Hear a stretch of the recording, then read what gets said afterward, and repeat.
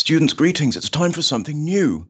A new story, a new novel called Lord of the Flies. Strange title, but I'll give too much away if I explain why it's called Lord of the Flies. You've heard of Lord of the Rings. This is Lord of the Flies. Um, what's a predicament then? Uh, it's a problem or a tricky situation. And cast your mind back to dystopia. In what way is being in room 101 a predicament? You'll remember the torture chamber in the basement of Winston's workplace in 1984. Why is it problematic if you if you find yourself in there? Uh, I think I suppose I gave you a massive clue by calling it a torture chamber. And daunting means something difficult to deal with, intimidating. Um, so something you are having problems approaching. Really, a task, a daunting task, is something that's that makes you feel uncomfortable. Yeah, if you're about to do it. Uh, so bearing that in mind, why would stranded on a desert island be daunted? Daunting. What was what would be the first thing you'd do? If I ask people this, they some say shelter, some say food, some say uh, rescue. But why is it? Why would it be daunted if you daunting if you find yours found yourself in a, a desert island, sort of suitcases strewn all over the place, your ship chugging off into the distance. Lord of the Flies finds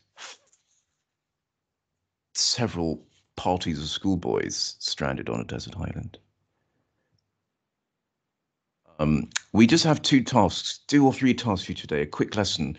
Um, I want you to tell us who William Golding was and why he wrote Lord of the Flies, and also how you could consider this a dystopian novel. Remember, dystopias don't always have to take place in the future, they can also be an alternative present.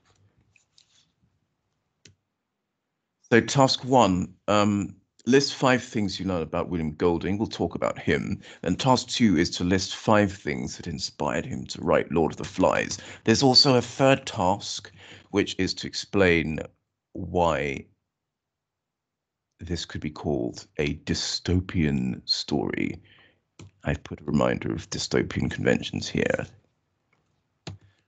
Let's talk about the writer. He was a school teacher uh, who became a really successful novelist. He was born in 1911, died 93. Um, he spent about 50 years of his life in Wiltshire, um, uh, Kent, uh, county in the the west of England. He wrote several novels, at least five novels. Uh, studied natural scientists, sciences and English literature at Brasenose in Oxford. He enlisted in the, Nor- the Royal Navy in 1940, and he took part in the sinking of this large battleship. I think there are only two battle cruisers of that size, and one of them is called the Bismarck. Golding was involved in it. So he witnessed all the atrocities of uh, World War II from a naval point of view. Also worked as an actor, lecturer, sailor, musician, and again schoolmaster. So uh, he gave up teaching in 1961 to write full time. Um, so after war, he said, "Women are far superior to men and always have been. There aren't." unfortunately, any women in Lord of the Flies, no girls, because William Golding said he just understands the boy's pers- perspective a bit more um, c- comfortably. Um, he thinks that boys alone on an island are more of a reflection of how society itself would um, break down without rules. Girls, he said, are too clever. They always make something positive. They always add to a situation. If you present them with food, they'll give you a meal. If you give them a women a house, they'll turn it into a home. Far too civilized.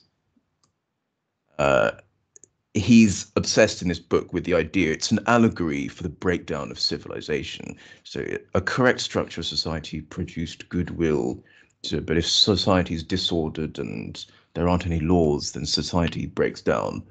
Men create evil like bees create honey, he said.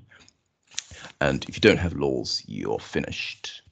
So in Lord of the Flies, we have polite schoolboys becoming wild, basically, without adults around. He thought that um, children from this respectable background without rules would lose that hand of civilization, he calls it. He went to this school called Marlborough, which is near Bath, perhaps between Bath and Oxford. And then he went up to Oxford University to study. That's Wiltshire, where he spent most of his life. And he, a lot of his school children in Lord of the Flies come from these sorts of backgrounds choir schools, private schools.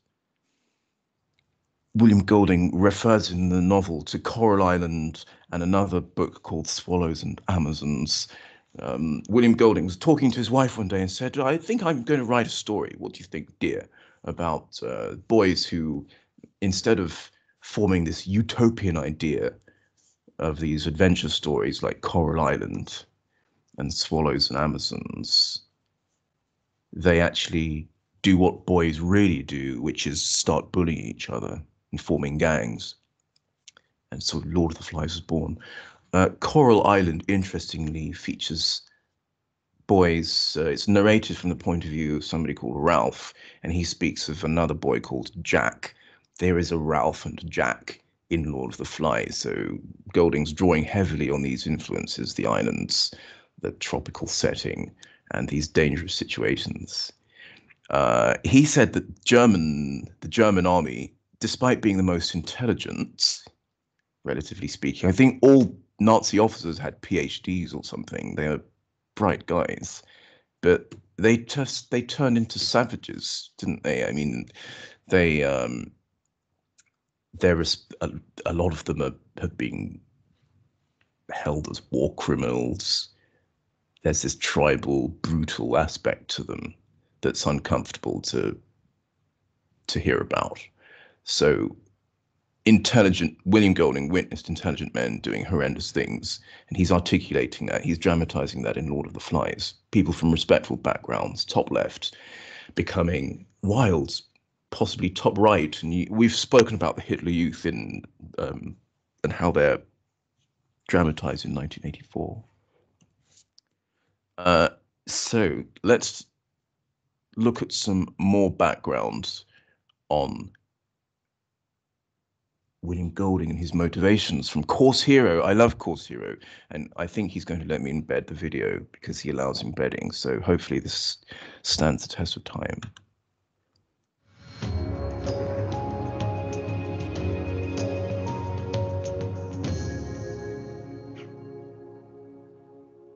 The context of this book is that it's set during World War II. Now, William Golding served with the Royal Navy and saw active duty in the North Atlantic.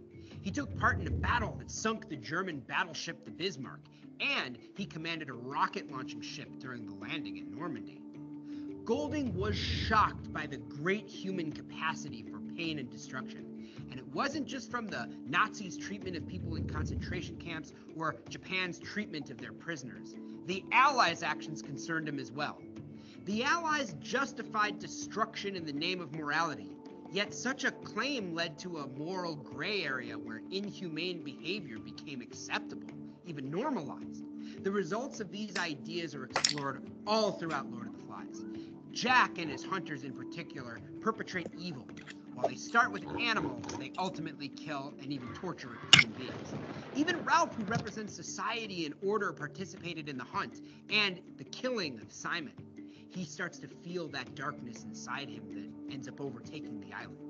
All humans are shown in the text as being capable of doing evil. Lord of the Flies was written during the Cold War when humanity lived for the first time under a clear threat of nuclear war and mutual destruction. atomic bombs had been used twice by the United States to force the surrender of Japan in 1945. Leaders of the Soviet Union felt compelled to develop the bomb for both defensive and offensive purposes. Just as in the text, when the boys break into groups that come to mistrust and seek the destruction of one another, nations separated into groups. Now, most countries fell into the sphere of either the Soviet Union and its communist allies or the United States and the West. Tension was high between the two blocs. The Cold War and its potential for total annihilation, as well as the paranoia between the two sides, is readily apparent in the text. In fact, at the very beginning, Piggy wonders if a bomb has destroyed the world, and he's worried about being found by the Reds, a name members of the Western Bloc often applied to communists. In this book, we see the fragility of civilization on display as the boys realize the savagery of human nature. Thank you, Course Heroes. So it is an allegory for the tension between the Cold War as well. Uh, Cold War nations of Russia and America, possibly. Um, Cold War means war that doesn't actually come to pass. It's the fear of nuclear threats. It's a fear of nuclear invasion. The three tasks. List five things you learned about Golding. List five things that inspired him to write Lord of the Flies and task three, in what way could you call this a dystopian story? Let's introduce the story. So we have a nuclear bomb somewhere, possibly, well, in England. So schoolboys from uh, backgrounds such as this, various schools actually, are all evacuated from yeah the lifetime of hard study and hard sport off to Golding says it's a place in the Pacific Ocean he doesn't say where. He said it wasn't necessary. All you need to know is that the boys are on their way somewhere by plane and they're shot down by anti aircraft fire. And we are going to join them in the next lesson on the beachfront. But before then, your tasks. Five things you learned about William Golding. List five things that inspired him to write Lord of the Flies. And uh, three, in what way could you call this a dystopian story? So, are any of these factors in the list, conventions in the list, reflected in what you know of the story so far? Um, what else? So here's an example of what you could write for the first one. Five things you learned about William Golding. Well, he, you know, he served in the Navy and he, he grew up in Wiltshire. The list five things that inspired him to write All the Flies. Uh, Cold War, um, perhaps those stories like Coral Island, and then perhaps something of his beliefs on law, society, or men. And then there's another example of what you could write for how it's dystopian. So just those quick tasks, please, and we'll start reading next time.